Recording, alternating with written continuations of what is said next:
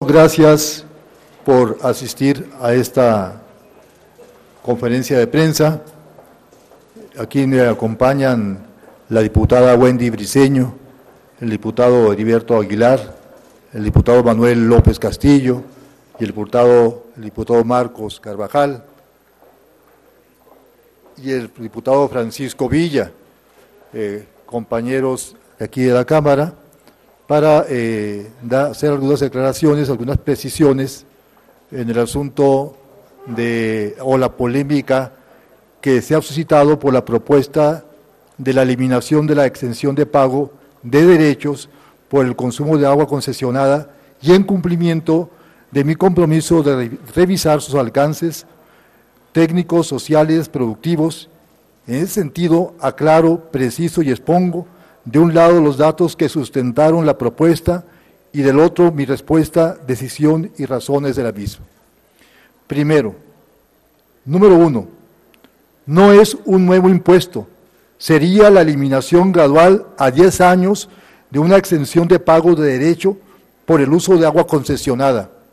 Dos, el pago de derecho de concesión sería a partir de, las, de los excedentes que se generen después del consumo de 216 mil metros cúbicos trimestrales o 865 mil anuales, y solo por metro cúbico excedido.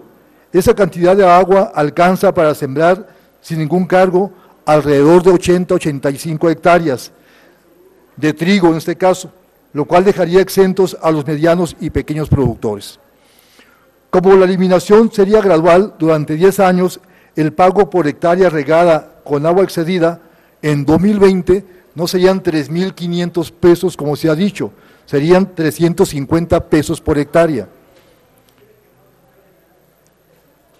En virtud de que el 2% de los títulos de concesión consumen el 60% del agua concesionada, se buscaría un reparto más equitativo y eficiente del agua y dirigir los recursos recaudados a infraestructura agrícola. Cinco, no obstante, dada la inconformidad de algunos agricultores y de directivos de los distritos, particularmente en este caso en el Yaqui y Mayo, y el diálogo que sostuve con ellos, hice el compromiso de revisar con los diputados y senadores esa información y de, y de ser necesario modificar o solicitar el retiro de la iniciativa al Senado en lo que a mi parte corresponde. Segundo, el día de ayer, en cuanto llegué a la Cámara, me di la tarea de platicar con algunos diputados y compartir la información con asesores para que fuéramos analizando la propuesta o las razones que habían eh, planteado los productores. Quiero decirles que en lo general la información está bien sustentada salvo en una precisión, los títulos de concesión de agua no solo amparan a personas físicas, sino también morales, de modo que un módulo de riego suministra el consumo a varios productores. Esto conlleva que el volumen de agua exenta de pago de derechos no sea suficiente para el riego de los integrantes de un módulo y por lo tanto el consumo excedente se podría cargar prorrateado a los demás productores, aunque sea de manera proporcional. Esto eh, podría, pondría en riesgo eh, a pequeños y medianos que estarían de alguna manera subsidiando el consumo excedente de grandes productores. Ante esto, he tomado la decisión de solicitar al Senado el retiro de la propuesta, que aunque fue resultado de una reserva presentada por el grupo de Morena en la Comisión de Hacienda, yo me siento con mayor responsabilidad por haber sido el diputado oponente. Por ello, soy firmante de una solicitud ante el Senado del retiro de la propuesta, junto con la mayoría de los integrantes de las Comisiones Unidas de Agricultura y Recursos Hidráulicos de la Cámara de Diputados. De igual manera, se lo hice saber al presidente de la Comisión de Agricultura en la Cámara de Senadores. Por todo lo anterior, prefiero reconocer que en el aspecto ya mencionado hubo información no detallada para problemáticas particulares y no suficientemente sopesada, antes de mantener una propuesta que pueda afectar a los productores en particular de manera muy especial a los medianos y pequeños. Esto es, retiramos fundamentalmente por estas razones nuestra propuesta en lo que cabe y en lo que corresponde a mí, apoyándome también eh, la solicitud que están haciendo algunos diputados a la Cámara de Senadores. Si hay preguntas. Buenas tardes.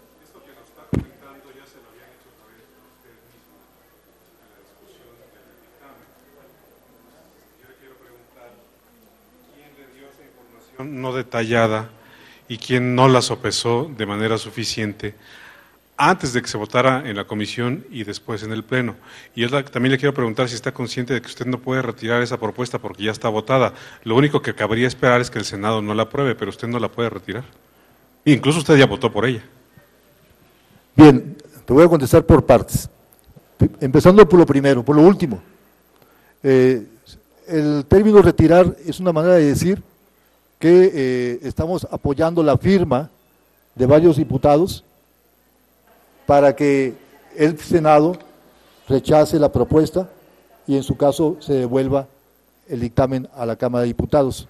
Aunque ya, esté aprobada, el Senado eh, puede eh, ejercer esa función, esa capacidad. En relación a lo otro que mencionas, en la sesión de comisiones no se hizo ver de esa manera tan particular. Se dijo que era una eh, decisión que afectaría a los productores, pero eh, si, si tenemos en cuenta el volumen que queda exento de agua, que son 216 mil metros cúbicos por trimestre o 865 mil por año, es una dotación suficiente de agua para regar hasta 85 hectáreas. De esta manera no se estaría afectando a los pequeños y a los grandes, a los pequeños y a los medianos productores, solo a quienes siembran una extensión de esa magnitud, a los cuales ya no se les puede considerar pequeños, son grandes hacia arriba. Entonces, esto estaba un poco en discusión el día que se presentó la propuesta ante la comisión, pero no eh, se eh, trabajó eh, al detalle la particularidad que puede haber entre regiones y en particular también no se hizo hincapié en que hay personas morales que son titulares de concesiones de agua y que por lo tanto esas concesiones pueden integrar a diferentes o a varios productores. ¿quién dio la información incorrecta? no, no es incorrecta. Creo que tuvimos información insuficiente.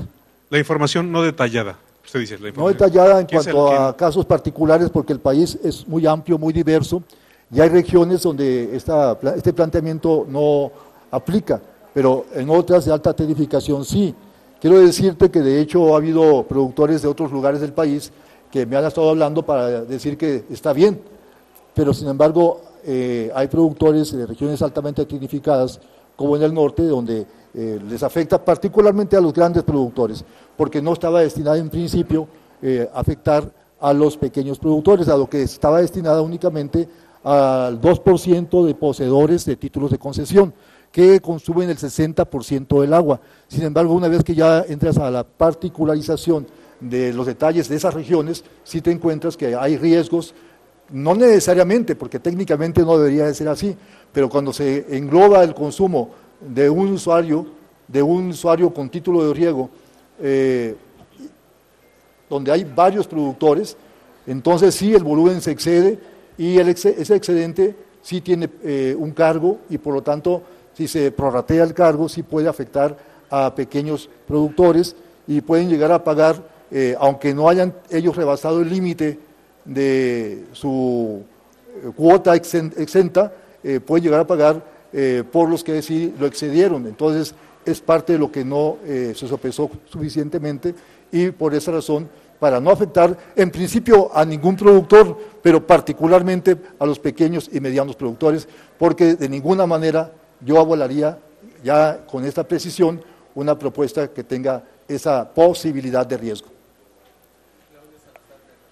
Sí. Eh, buenas tardes, eh, diputados. Yo le quiero preguntar, ¿en qué momento toman esta decisión de pedir al Senado que retire eh, esta, este artículo, porque eh, precisamente ese día en la Comisión de Hacienda Bueno, se cansaron de decirles los demás diputados de otros grupos, incluso eh, eh, el diputado Escobar, les dijo que tuvieran sensibilidad, que estaban golpeando al agro, que estaban afectando a todos. La respuesta de la Cámara después de la manifestación era un golpe con, con la cuestión del agua y ustedes se aferraron, ignoraron a la oposición, incluso a su aliado, y votaron a favor de esto y se impusieron.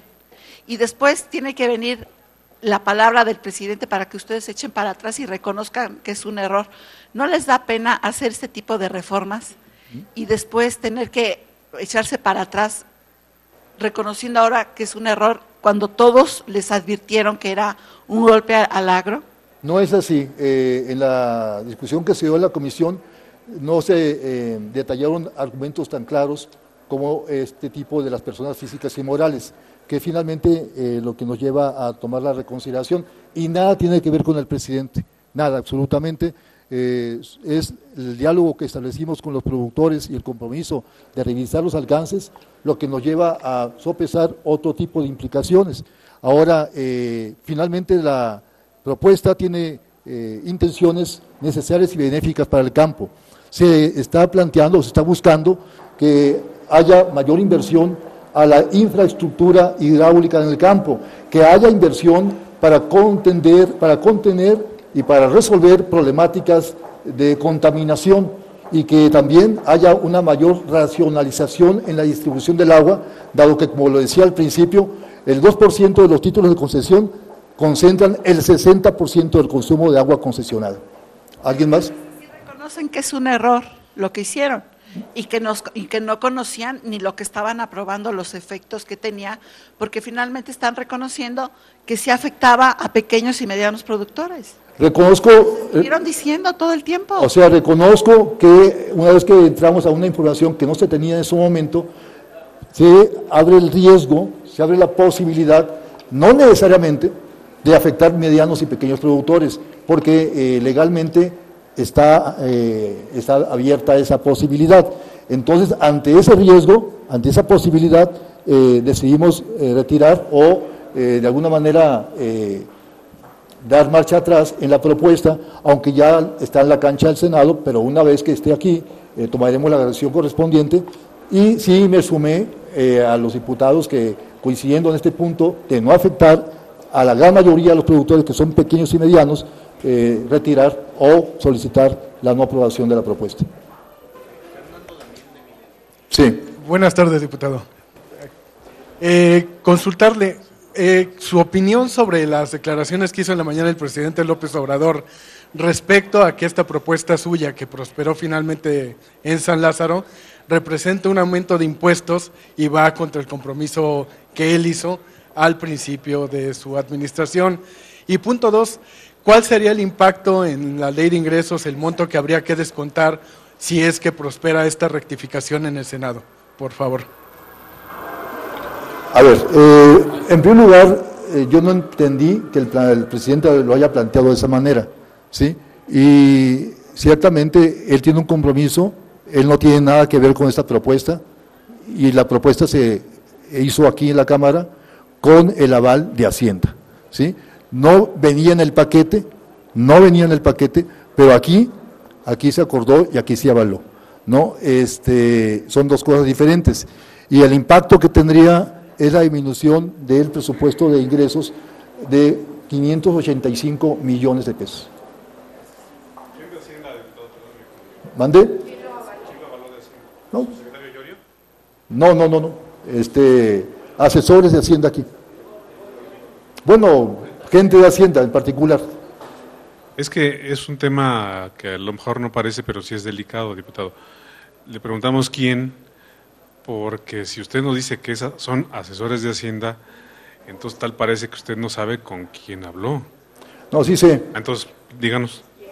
No, sí sé, eh, no recuerdo los nombres, pero son asesores a los cuales uno acude para preguntar si una propuesta es o no es eh, viable. Entonces, eh, no recuerdo sus nombres, pero son gente que trabaja aquí. ¿Alguien más? Usted nos acaba, buenas tardes, nos Buenas acaba tardes. de decir que el impacto sería de 585 millones de pesos menos en la ley de ingresos, ¿verdad? Desde un momento se dijo que no iba a haber, lo que dice mi compañero, el presidente lo dijo y lo ratificó, que no iba a haber más aumentos. Esta mañana el presidente del Consejo Nacional Agropecuario dijo que esto era más impuestos porque ellos colaboran en el mantenimiento de toda la red del, sistema de riego en canales y demás, y que ya pagan impuestos. Entonces, no debe de haber más cuidado por parte de los legisladores en hacer este tipo de, presentaciones que, ocasionan tanto malestar y que pues provocan confrontación aquí entre usted y el, y el Ejecutivo. Gracias. Bueno, repito que en realidad esta propuesta estaba eh, dirigida a que se buscara la contribución del 2% de los usuarios que concentran el 60% el 60% del consumo de agua. Esto es muy importante aclararlo. También quiero decirle que técnicamente no es un nuevo impuesto ni es incremento de impuestos. Este es un derecho, eh, es el pago de un derecho que actualmente está exento, pero existe, no se está creando. Eh, y bueno, lo que se estaba buscando es una eliminación gradual de ese derecho, o se buscaba una eliminación gradual de ese derecho para los altos consumidores, arriba de 216 mil metros cúbicos, 865 mil metros cúbicos por año. Entonces, eh, no es a todos los consumidores y por lo tanto, y como le digo, no es eh, un nuevo impuesto, simplemente es una exención gradual a 10 años. Pero, pero bueno, era, más bien dicho, porque ya, ¿verdad? Ya estamos pues, aquí retirando nuestra propuesta. Buenas tardes, diputado. Preguntarle, eh, preguntarle nada más. Entonces, ¿qué calificativo le pondría a esta acción? ¿Un error? ¿Una omisión? ¿Qué le pondría usted? Yo le pondría, eh, en virtud de que aunque en, en origen la propuesta iba dirigida a un 2% que concentra el 60% del agua, cuando vemos que existe la posibilidad legal de que ese 2% eh, no sea exactamente de personas físicas, sino de, también de personas morales, lo cual puede eh, incluso bajar eh, la afectación a pequeños y medianos productores, estamos rectificando nuestra posición ¿Pero qué calificativo le pondría? de una rectificación, creo que es válido y que es, eh, No, no es un error. yo creo que es válido rectificar. Yo creo que es válido rectificar. Yo creo que eh, si vemos que lo que se planteó originalmente Pero no es un se, desvirtúa, se, se en el proceso y eh, encontramos que hubo aspectos no suficientemente ponderados, eh, es válido rectificar y es, eh, creo yo, eh, correcto hacerlo. Malo sería continuar con algo que aunque sepamos que está desvirtuando su, su, objetivo inicial, pues se mantenga a pesar de eso. Entonces yo creo que es válido que se rectifique y es correcto hacerlo. Entonces, eh, ¿Mande? Bueno, cuando se rectifica algo porque no se consideró algo, ¿no? y, y diputado, diputado, nada más preguntarle, ¿usted redactó esta reserva? Se lo pregunto porque ese día en la comisión parece que no podía ni explicarles bien a los eh, integrantes de la oposición el sentido de la, de la reserva. Se lo pregunto así, si usted la redactó, porque ahora dice que no tiene toda la información correcta, entonces no entendí, ¿o se la pasaron para que usted la leyera? No dije que no tengo, tengo la información. En ese momento no contábamos con aspectos particulares y detallados de la información y la propuesta fue una propuesta que se acordó en el marco del grupo de Hacienda, del, grupo de Morena, en la Comisión de Hacienda y yo fui quien la expuso, el ponente.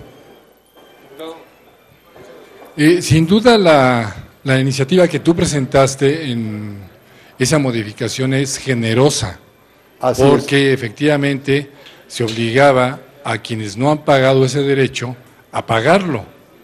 Este, lo que yo quiero preguntarte es, ¿hubo alguna presión externa para que ustedes decidieran echarla abajo o rectificar? Es decir, porque si era generosa, como todos lo vimos, ¿por qué ustedes reculan? Esa es la pregunta, creo que es de fondo. Si nos puedes responder si tú consideras que hubo una presión externa o qué pasó. Qué bueno que me preguntas eso, aunque de alguna manera ya lo he comentado, pero qué bueno que me preguntas para poder ampliar y precisar. no hubo ninguna presión externa si se estaba pensando eh, de carácter político, pero eh, hubo diálogo, hubo diálogo ah, con los productores, eh, intercambio de opiniones, de puntos de vista, y por supuesto que nosotros somos sensibles a lo que los productores exponen, y donde aquello, en, en donde hay coincidencia, donde consideramos que hay razón, lo retomamos para revisarlo, que es lo que hicimos. Y eh, ciertamente la propuesta en su intención es generosa, porque busca beneficiar a la mayoría de los productores pequeños y medianos, eh, busca eh, tecnificar, sobre todo en la parte hidráulica, al campo y busca racionalizar el, escaso recurso del agua.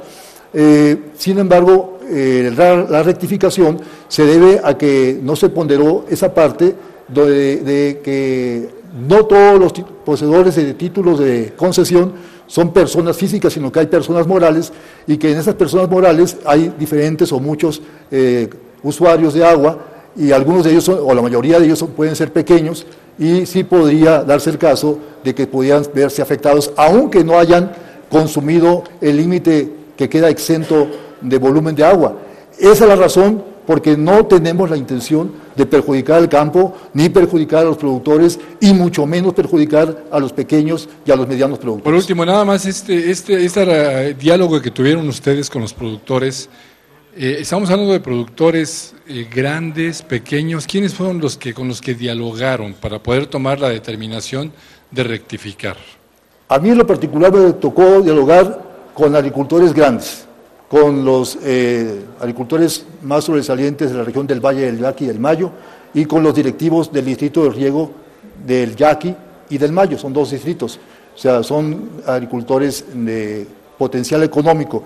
Quiero decirles que ningún productor de pequeño y mediano, ninguno hasta ahora, eh, me ha reclamado ni me ha planteado nada. Pero independientemente de eso, cuando yo veo que la ley podría llegarles a afectar, no necesariamente, pero podría, en este momento eh, decidimos eh, dar marcha atrás y decir, pues vale más revisarla con cuidado para, en todo caso, eh, en su momento, plantear las medidas que correspondan para que estos objetivos que originalmente se plantearon se puedan cumplir, pero sin afectar a la gran mayoría de los productores.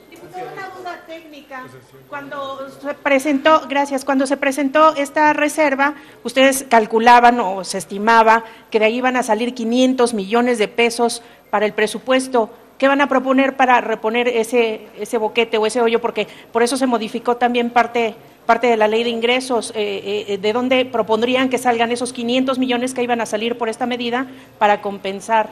585 millones de pesos era lo que se pretendía recabar y la intención era dirigirlos totalmente, el 100%, a obras hidráulicas, a asuntos del campo. Eh, ¿Qué se va a hacer? Pues aquí vamos a hacer los acomodos necesarios, ¿verdad? Eh, vamos a tratar de hacer los ajustes sin dañar eh, o evitar dañar lo más que se pueda a los sectores productivos, sociales y por supuesto, a los estados y municipios, que por cierto también hay cosas muy importantes que no se han considerado, porque sí estamos eh, aprobando en la miscelánea y en la ley de derechos o en la ley de ingresos eh, algunas medidas que sin incrementar impuestos, sin, aumentar sin incrementar impuestos, sin crear nuevos impuestos, sin aumentar eh, precios de bienes y servicios del sector público, hemos logrado generar un recurso que vamos a destinar a estos sectores. Entonces ya veremos aquí en su momento eh, qué eh, ajustes haríamos, pero tratando de cuidar, no dañar a los sectores y a las partes más sensibles de eh, la sociedad.